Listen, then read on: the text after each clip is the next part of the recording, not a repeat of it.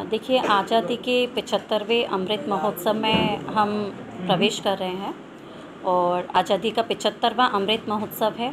और इस दौरान, जैसा कि आपने देखा कि नगर निगम के जितने भी हमारे माननीय पार्षदगण हैं नगर निगम को जो टारगेट मिला था कि हर घर तिरंगा लगाना है, जैसा कि माननीय प्रधानमंत्री जी ने आह्वान किया है, हर घर तिरंगा लगे उसी कड़ी में आज नगर निगम में सभी माननीय पार्षदगणों को 500 500 राष्ट्रीय ध्वज, जो तिरंगा झंडा है, उसका वितरण मेरे कक्ष में किया गया है।